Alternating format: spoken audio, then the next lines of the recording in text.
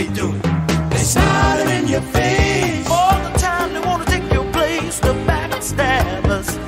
Backstabbers, they smiling in your face. All the time they wanna take your place, the backstabbers.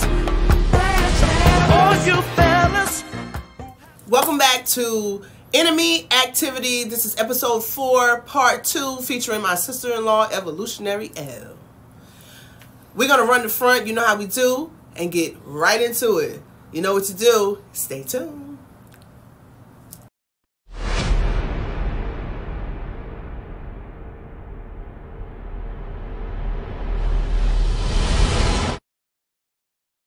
Part uh, episode four, part two with the Red Queen and my We back. and myself, Evolutionary L. So we're gonna pick up where we left off. So I had talked about the situation with an elderly person in my family who um basically just treated me like dirt and put me in harm's way knowingly.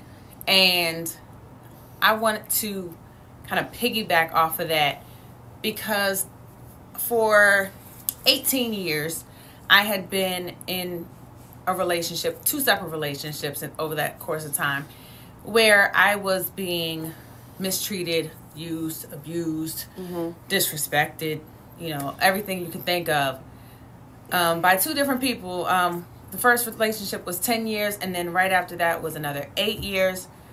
I was being controlled, manipulated, and the whole time, no one said anything at all. They witnessed it.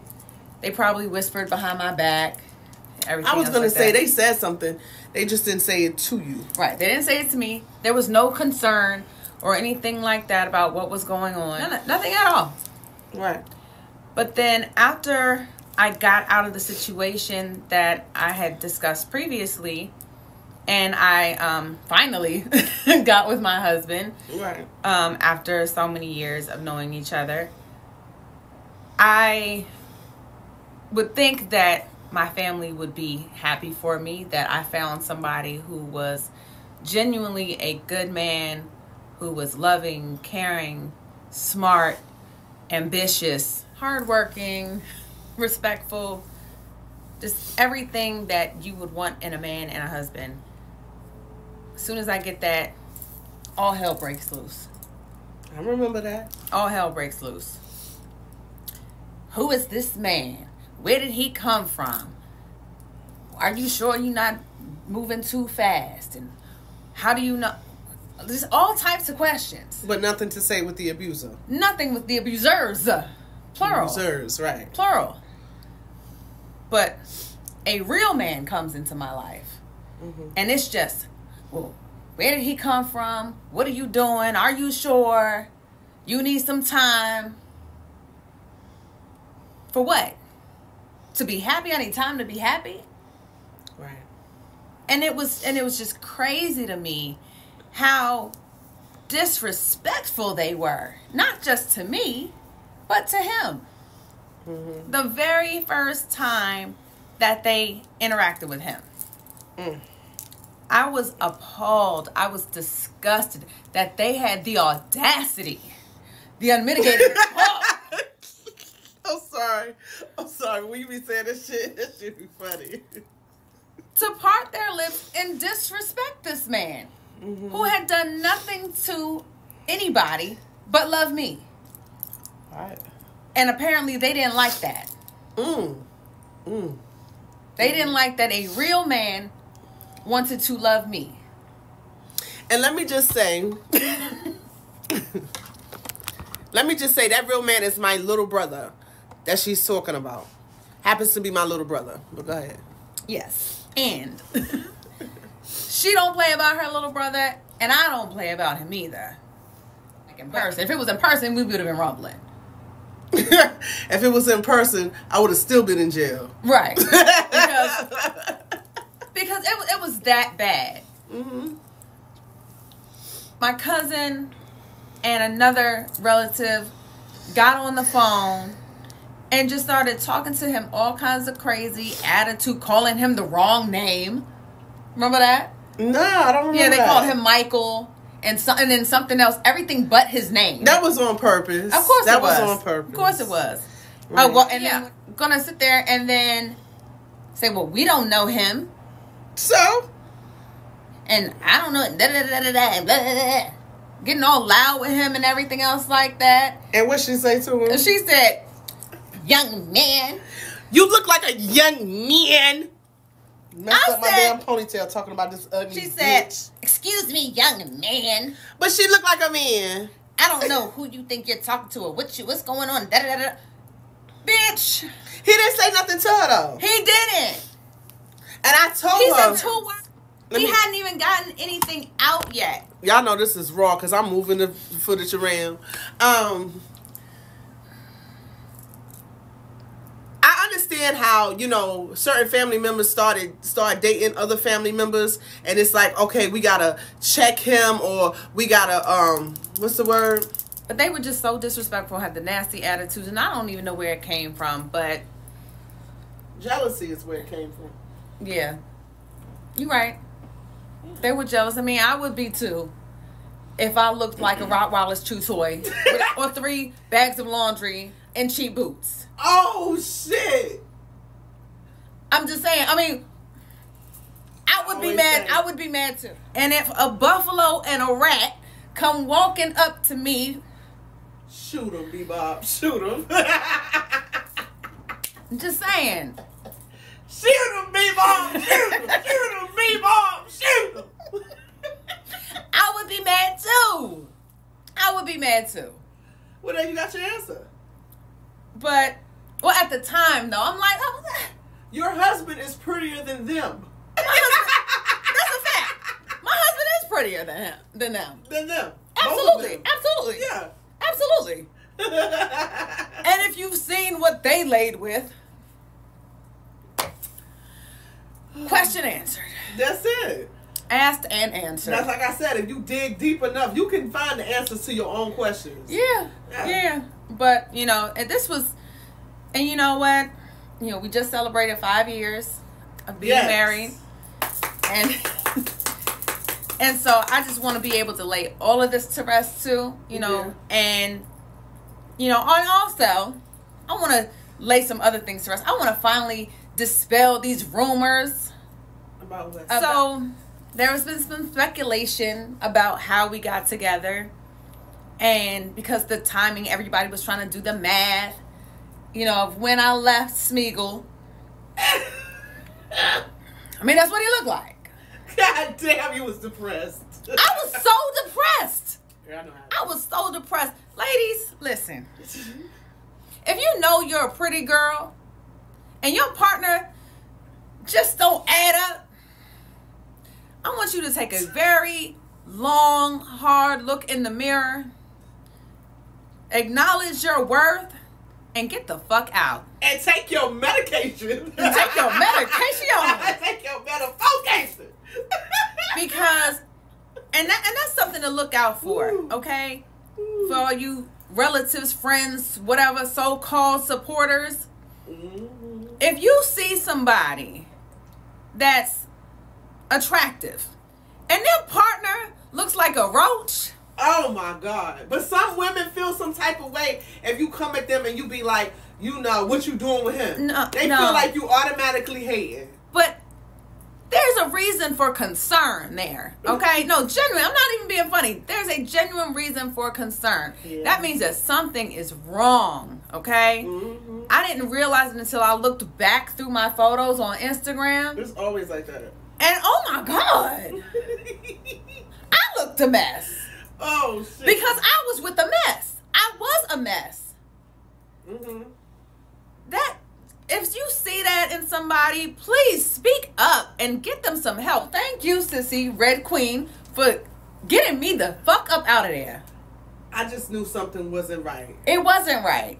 It wasn't It right. It didn't look right. It didn't smell right. it wasn't right. if it don't feel right, it ain't right.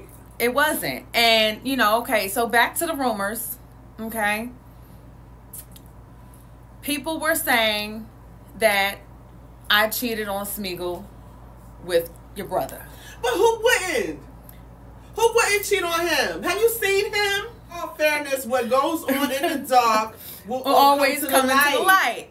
But it doesn't mean it's ugly what's coming to the light. No. It doesn't mean all the time it's some scandal or whatever. oh, it was a scandal. Oh yeah, it was. It was a scandal though. So for all of you who have been wondering and whispering over the years, yes, I did. I did. But if you were with somebody who was, um, you know, twice your age almost, and couldn't perform in bed, oh damn. and couldn't satisfy you at all, He was an over the shoulder Brooke boulder holder. and you had somebody that had been in your life wanting to be with you, yeah. and you were already checked out, He was listen, I was checked out already though. So in it. my mind, I wasn't cheating. when a woman is checked out, it's a wrap. But yes, there was a lot going on. Okay? Do something. I mean, you was in New York every weekend. Yeah. How did he? How did? How does one not know that you're coming here to see somebody? How if you're coming up here every fucking weekend to mm-hmm. see somebody? Every How- weekend. How does one not know? if I when when I finally graduated ain't that many when, when I got my jobs in the world. when I got my degree and I chose not to walk. Where was I? New York. That's what I'm saying. Like, who doesn't know that? Look. There ain't that many out of town. I gotta go to New York in the world Mm-mm. But you know what? unless your ass live there. I'm going home type shit. I was going home. Right. I was going because home is where your heart is, and and that man is my heart to this day. Always has been, always will be, and I'm mad at myself for making him wait. That's real. But you know, things happen for a reason, Mm-hmm. And I feel like I needed to go through that situation in order to really, really appreciate a good man. Right. But yeah, so that's that. That's that. And since we're talking about family members who are enemies, early on you talked about in the first episode signs of a hater. One thing we didn't talk about really was when someone tries to be in competition with you. Mm-hmm. So I have a cousin who's twice my age. Okay. This is one of the people that acted like they were clueless about what I was going through because I had posted on Instagram, I put up a post about my so called friends and family that watched me suffer in turmoil for all these years and didn't say anything. Why are you texting me saying, Do we have a problem? Do you feel some type of way? I didn't mention anybody by name. I know exactly who you're talking about, and yes, I do have a problem. I have a Yes. problem that you don't grease your fucking scalp. Well, if like if the shoe afro- fits Lamont Sanford And with the damn- struggle fro, And that your damn afro been the same length for five fucking years. Yes, we have a problem. We and your forehead is this big. I'm sorry, it just and it doesn't add up. I'm sorry It goes back to the quality of, of the person. And this is somebody who, for some reason, wanted to treat me like I was their favorite cousin, at least on this side by marriage or whatever. hmm But why are you in competition with me? It's because you use Ultra Sheen. and she does not. That's why it's because you have waves. And she has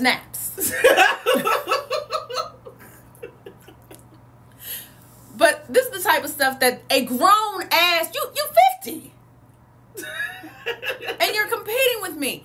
Once I get my degree, I had two. You want to talk about well, I have three degrees. Who cares? I make twice as much money than you. Uh, then you remember I started a few years back. I started a reading challenge online, right? Trying to encourage people to read more. So I challenged myself to read hundred books in a year. okay. Well, she's an avid reader. So Okay. she decides she's going to start posting all the books that she's reading. And she'll post like three books at a time. Really? Did she ever post how to use Ultra Sheen? No. How to use activator juice in the new millennium. Mm-mm, no. These are the things that she should have No. been reading, like the back of the fucking um, Dr. Miracles bottle. no, That's that what the was- fuck that was she- not the case. That's what the fuck she should have been posting. Ugly ass. She didn't do it. But anything that I did, she wanted. It was like she was coming at me. Mhm. Okay, because you're older, because you have more degrees. So Just you're because you have more years on this earth than you me. You're supposed to. But- if you're 20 years somebody fucking senior, you're supposed to. But like I had to come at her on Facebook and say, just have more years on this earth does not mean that your opinion is more valid than mine. You should have said, in my opinion, go to hell, good night, and suck a dick, Lamont Sanford. Every family has them. Haters, enemies, whatever you want to call them. You need to go find. Buffaloes, That's what you need to do. Rottweiler chew toys, Go find Fred. dry scalp bitches that want to hate on you.